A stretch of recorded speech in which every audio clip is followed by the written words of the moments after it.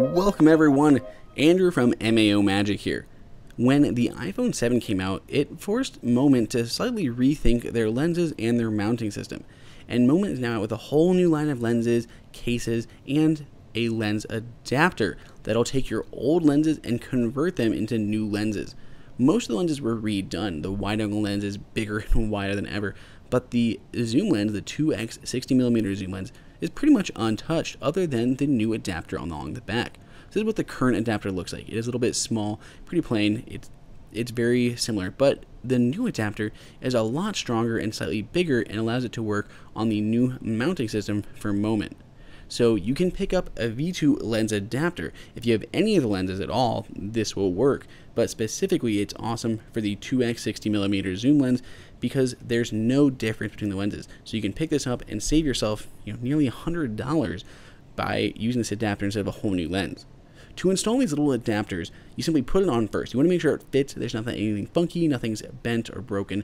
You want to make sure it fits on there nicely before you remove that adhesive because these are not meant to be removed. These adapters are meant to be permanent.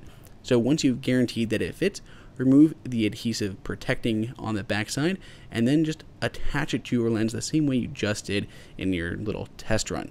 Once you're sure it's on there nice and good, turn it around and push it flat down on your table for like 10 seconds. Hold it there. Don't shortcut it because you want to make sure this is on there good. So this is what is holding your lens to your phone. You do not want that ever to fall off. Once you have that attached, you can use it with all the new mounting gear for the Moment lenses, which is basically two different cases. No longer do you have to use these little metal panels that you would have to attach to the top of your phone. Now, unfortunately, I loved these things because they were super slim and allowed me to use any case I want.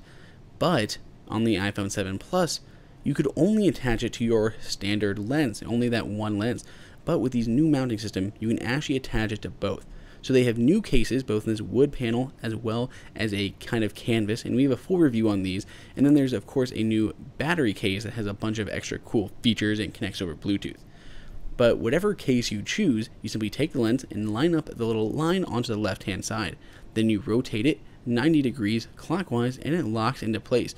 Very similar bayoneting system to what we had in the past, but now it'll attach to both lenses, the single lens as well as the 2x lens on the iPhone 7 Plus. And don't worry, it is not just iPhone OS, it works for many other phones out there, specifically the GS8 and the Pixel as well.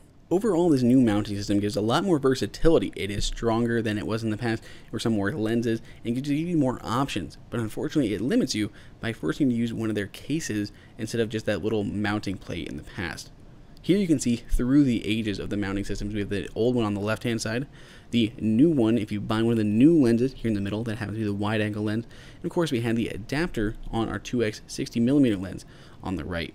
So if you want to pick one of these up, they're super cheap, like five bucks or something. You can find the link below in the description. Let us know what you think in the comments. And until next time, it's Andrew for MAO Magic.